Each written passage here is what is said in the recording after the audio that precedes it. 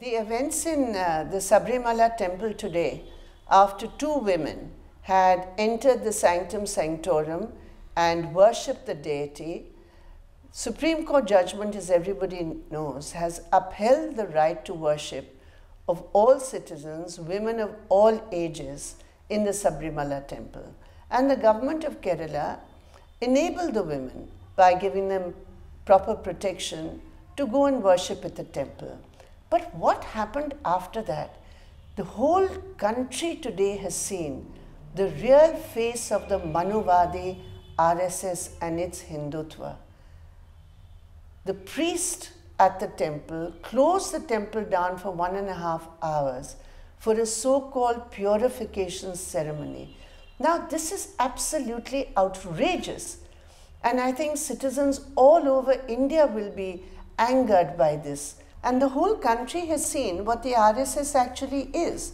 These so called Hindutva forces believe not in the constitution of India, but they believe in Manuvad and the Manusmriti. And as we all know, it is a Manusmriti which holds that Dalits and menstruating women are impure and should be kept at a distance in all public places. And in Kerala itself, there have been so many movements for the temple entry of Dalits. Even today in the country, there are so many areas where Dalits are forbidden entry into temples and they purify those, and we have all protested against that. Today, we find the RSS trying to implement it in Kerala, and this time, along with Dalits, they are trying to prevent women to go into the temple. This is absolutely outrageous. As far as that priest and what he has done is concerned, it is for the Kerala government to look at the law and what are the legal measures to be taken. But what we as citizens have to tell Modi, please stop this hypocrisy.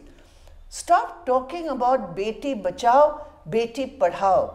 Because the Beti was born, because her mother was a menstruating woman, she was a fertile woman, which is how she gave birth to the Beti.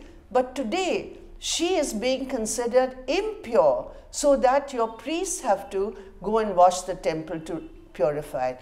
This is shameful and I think it is an insult to women.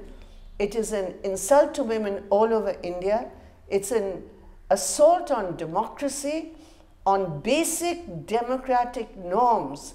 And I think all of us, in our own way and wherever we are, should protest strongly against it. Oh,